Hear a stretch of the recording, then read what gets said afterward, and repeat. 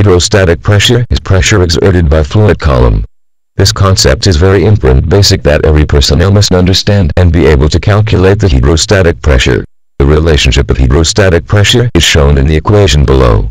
Hydrostatic pressure is equal to density of fluid multiplied by gravity acceleration and true vertical depth of the well. In oil field term, the formula stated before is modified, so that people can use it easily. The formulas are as follows.